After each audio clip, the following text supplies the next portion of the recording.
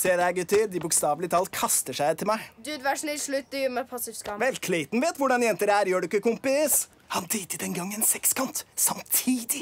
Høres komplisert ut. Og repeterende. Å, en løgn! Stemmer ikke det, Clayton? Ja, ja, egentlig har jeg aldri hatt en kjæreste, for jeg er sosialt rar. Jeg har også andre problemer. da. Leveren min begynner å lukte når jeg står for nær en jente. Det får munnen min til å lukte som brente julehummus. OK, bra ærlighet. Litt for mye informasjon, men bra uansett. Og så har jeg et smittsomt utslipp på Wow, wow, wow, wow, wow. Jeg har lyst til å sove i natt. Tusen takk.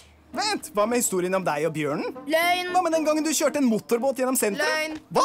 Hva med fingertrykkhjerteoppløsningstrikset? Løgn. Nei, faktisk, det er sant. Å, mann, du gjorde det så bra, så tar du opp det der igjen. Det er sant, Vi da. vet alle at det ikke er det. Det er det. Og virkelig, så vær så snill, bare slå deg løs. Gjør det. Gjør det her nå foran alle oss. Ta ditt spesielle trikk på Tobias. Ja, vent, hva? Nei, nei. nei. Ikke vær redd, du klarer deg, fordi det er en løy. Den fyren her kan ikke kung fu. Han sitter jo permanent. Å ja? OK, du ba om dette. Nei, jeg gjorde ikke det. Det var han.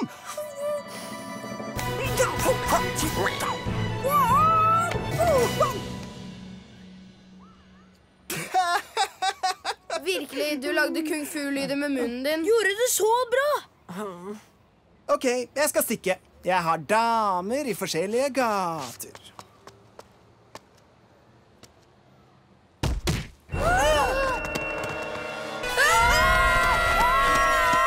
Vi kan ikke la han bli en Vi må gjøre noe! Så hva? Hva som helst! Hva med hjertekompresjon? Hjertekompresjoner! Du bare dissekrerer hjertet hans, din idiot! Se på han! Han var en ung mann med hele livet sitt foran seg. Han fikk ikke engang sjansen til å få seg en kjæreste. Nei, snuppa. Hvordan funker det der? Er det som når høner mister huet sitt, og de kan fortsatt løpe rundt? Nei, dude. Det betyr at han lever! Vi drepte han ikke! Vi bare slo han ut, som fortsatt er ille.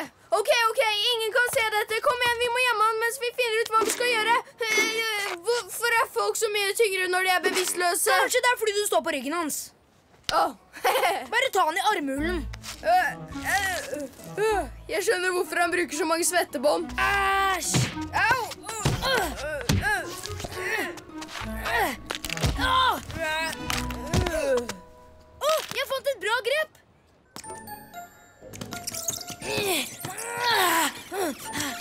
Slutt å kaste bort tiden.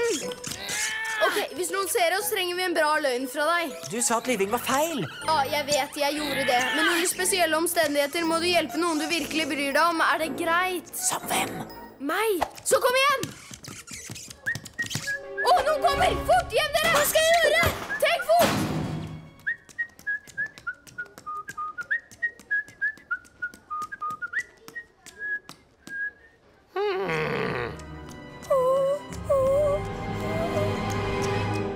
Skriv deg opp for gangdugnad!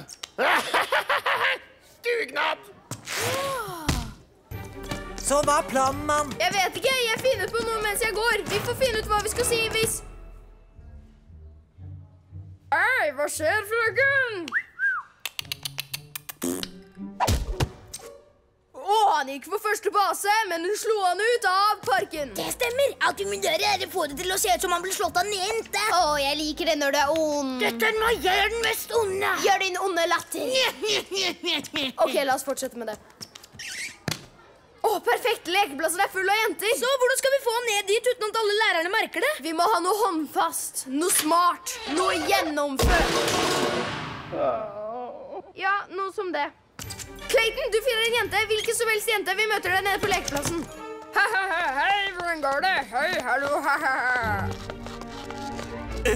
Du skulle få det! Du skulle så få det! Hvorfor tok du med deg Jamie? Du sa en hvilken som helst jente. Eller i hvert fall skjønner folk at hun ville slått ned Tobias. Øh, han våkner. Bare få han til posisjonen. Vent! Dette er løgn! Du kan ikke bare lure Jamie for å ha slått ned Tobias. Hva? Skulle du lure meg for å ha slått ned Tobias? Hva? Har dere slått meg ut? Skal vi lure Jamie? Hva?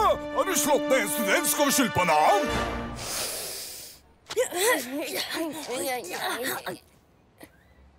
Ja, ja, ja.